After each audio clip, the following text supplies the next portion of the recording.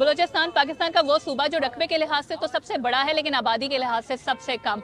और इसकी तारीख का एक बड़ा हिस्सा बड़े हिस्से में हमें मिलिटेंसी और इंसर्जेंसी नज़र आती है सूबे के अंदर। तो इसकी सरहद अफ़गानिस्तान और ईरान दोनों ही मुल्कों से मिलती है। मैं इस वक्त झलमक्सी टाउन में हूँ, जो कि ईरानी ईरानी सरहद से तकरीबन 500 किलोमीटर के फासले पर है।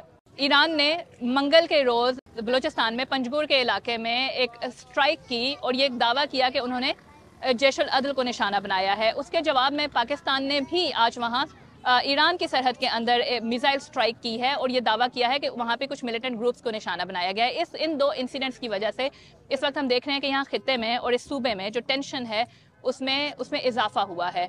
ईरान ये क्लेम करता है कि जैश मोहम्मद, जो कि एक्टिवली इन्वॉल्व है ईरान के अंदर हमले करने में। वो पाकिस्तान में पनाह लिए हुए है। ये वो दावा है जो कि पाकिस्तान डिनाई करता है। तो दूसरी तरफ़ पाकिस्तान आर्मी का ये कहना है कि उन्होंने बलोचिस्तान लिबरेशन आर्मी और बलोचिस्तान लिबरेशन फ्रंट जैसे मिलिटेंट ग्रुप्स को निशाना बनाया है, जो बलोचिस्तान में पाकिस्तानी सिक्योरिटी फोर्सेस के खिलाफ एक्टिव नज़र आते हैं।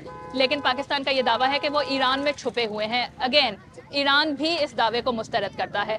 बहुत सारे लोगों के लिए ये एक बहुत ही अनप्रेसिडेंटेड किस्म का वाक़ है, जो कि दो ऐसे मुल्कों के दरमियान जो कि आपस में बरदराना, अच्छे बरदराना ताल्लुक का दावा करते हैं।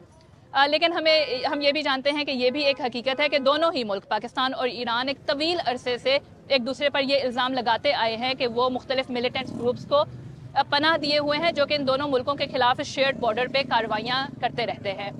ये इस इस सारे वाक़े की टाइमिंग भी बहुत इंपॉर्टेंट है कि ये कैसे वक्त में हो रहा है, जबकि पाकिस्तान में कुछ ही दिनों में आम इंतबात होने वाले हैं। मुल्क में एक इंटरम गवर्नमेंट है और लोग जो हैं, वो इलेक्शन कैंपेन में मसरूफ़ नज़र आते हैं। हमने जब यहाँ लोगों से भी पूछा कि उनका क्या सेंटीमेंट है इस सारा जो इंसिडेंट हुआ है तो हमें ये सुनने को मिला कि वो पाकिस्तान का जो रिस्पांस है, उसकी हिमायत करते हैं।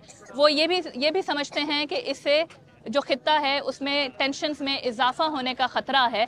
लेकिन इसके साथ वो ये भी कहते हैं कि ये इकदाम पाकिस्तान की तरफ़ से इसलिए भी ज़रूरी था कि ये दोनों कौमों को एक दूसरे के सामने आने से रोकेगा।